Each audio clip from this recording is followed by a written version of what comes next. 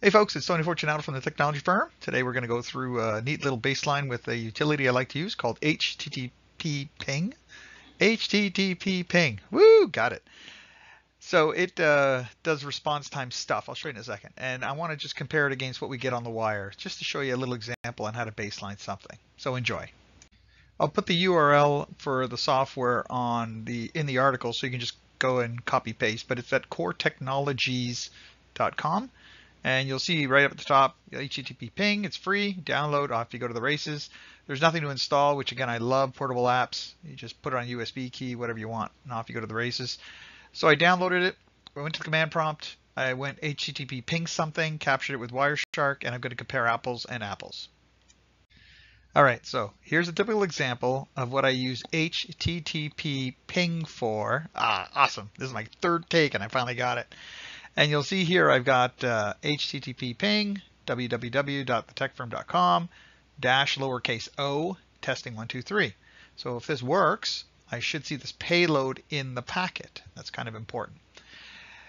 And off you go when you go and ping something. It's telling you that it's doing a post. You can also do a head if you'd like. And you can see the response times here. Looks pretty cool. I like the fact it gives you deviation as well. But what is it really like on the wire? Let's find out. So the first thing we're going to validate is did that dash O work? And I should see testing one, two, three in the packet. And if you take a look, sure enough, testing one, two, three. Um, this is incredibly important only because when you put payload in a packet, you have to understand is it going to put padding around it? Does it put some sort of signature in front of it or after it? You need to know what's in the packet. And in this case, it literally just put the data that I wanted, which is kind of nice.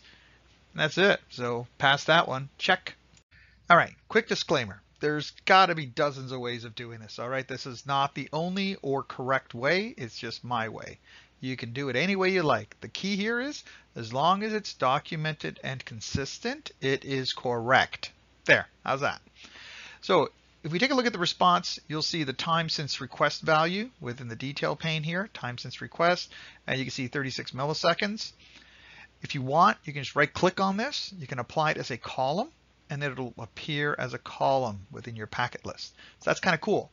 So now with a packet list, having that up there, I don't need to go look inside of it anymore. I can just see it on the list itself. So that helped me get the numbers fairly quick for the HTTP response time. Originally, I was going to go on a, a couple of more slides on this, but I don't think so. I think this will pretty well prove the point, and I'll leave it at that. And I'll leave it up to you.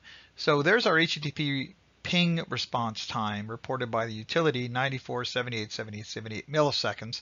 And Wireshark, as far as we're concerned, when we sent our post and got our OK back, 38, 35, 37, 36 milliseconds.